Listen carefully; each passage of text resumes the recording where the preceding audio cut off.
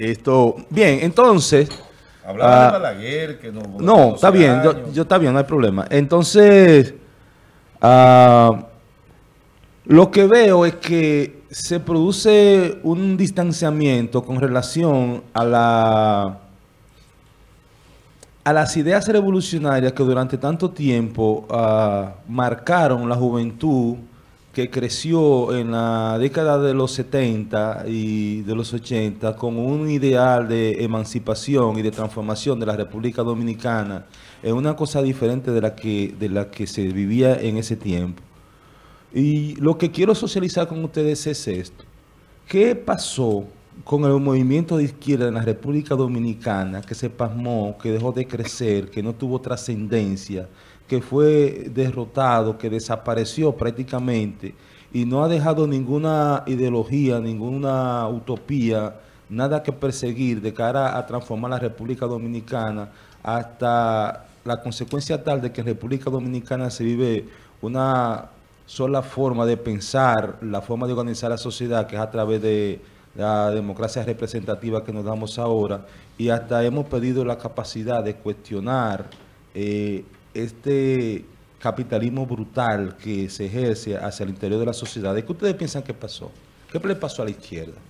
Yo te, le comentaba a Sócrates, creo que detrás de cámara, hace un momento, bueno, cuando Vladimiro presentaba las noticias en relación a, Ecuador y a este decreto que debió de ser dada de baja o derogado por el gobierno Lenín Moreno por las manifestaciones de, de los indígenas y de una parte importante de la sociedad de ese país. Y, ante todo esto yo le hacía la pregunta, él decía, pero ven acá, nosotros vemos en diferentes países cercanos, en América Latina, en Sudamérica, que sean, el pueblo se ha estado manifestando. Y en República Dominicana pasan cosas, pasan cosas, vienen cosas, van cosas. Y la gente está como en, un, yo siempre digo como en estado de hibernación, es que nos tienen sumido a todos, a una parte importante. Entonces ahí entra el rol o, ese grupo o esos ideales de los izquierdistas o de la gente de izquierda que tiene una visión diferente a lo que es el capitalismo, a lo que es esta, este, este sistema de partidos políticos tradicionales de nuestro país que han quedado, eh, no sabemos dónde, pero se han disminuido, se han desaparecido los que quedaban y pues si ustedes conocen de algún grupo que quede todavía en ese sentido, ¿verdad? podrían citarlo acá.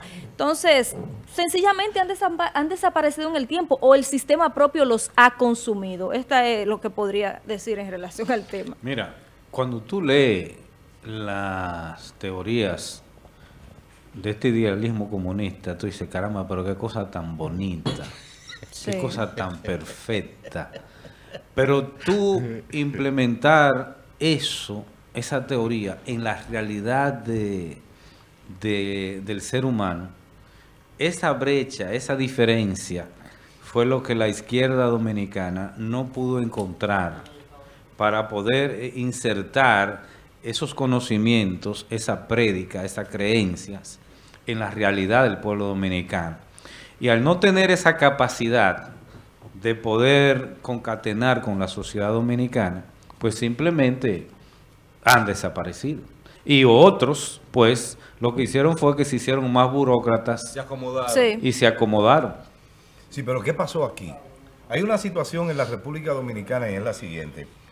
El comunismo se basó en un eje claramente establecido, Rusia, China, Cuba. Sí. Eso fue el eje. Sí. ¿Qué pasa? Que los grupos de izquierda, los partidos de izquierda dominicanos se centraron mucho en el apoyo de cada una de, esta, de, estas, de estos tres componentes de un solo eje. Sí. Y entonces se comenzó a hablar del pro-chino, del pro-Rusia, del pro-cubano, y eso comenzó a crear una situación de enfrentamiento ideológico que incluso llegó a enfrentamientos bastante serios. Claro, porque eran diferentes maneras diferentes de enfocar el marxismo, de enfocar el comunismo. Pero al fin de cuentas, la filosofía, la política y la economía del marxismo no cambiaban. No, claro no, cambiaban ni en Rusia, ni en China, ni en Cuba. Claro que no. De hecho, hoy día, cuando, cuando ya la economía no está, porque hasta China, que es el gigante, está ahora queriendo parecerse al imperialismo. O sea, a un... de hecho lo practica. Exactamente, de hecho lo practica, lo está practicando ahora.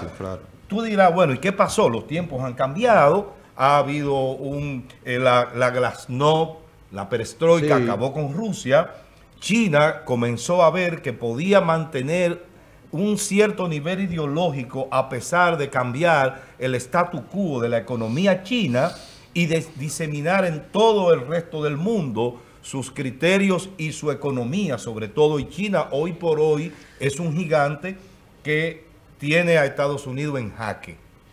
Es un desafío. Tan en jaque lo tiene que los americanos le deben muchísimo cuarto a China. Se lo deben Oigan todo, eso. se lo deben Pero todo. con China haber logrado mantener eh, esas, esas, esas ideologías y esa manera de, de ser en lo que es su Estado y en su gente y llegarse a, en el sitial más alto en estos momentos, casi por encima de Estados Unidos a nivel económico, eh, es un gran logro. Sí, pero eso, eso, no, cosas. eso no se debe ni a la filosofía, Claro ni a la política Claro. del comunismo, del socialismo. claro eso se debe a la propia idiosincrasia del pueblo chino. El chino... Y a su forma de producción, como ellos lo Sí, reflejan. claro. Exactamente. El chino es un individuo. Fíjense, eh, en una ocasión Juan Bosch dijo, cuando se refirió a la calidad de los carros Lada, Sí. dijo, eh, Rusia está condenado a fracasar, está condenada a fracasar. Y la gente se puso, comenzó a decir que Juan Bosch era loco, que estaba loco, que, óyeme, no tenía más razón, nadie tenía más razón que Juan Bosch.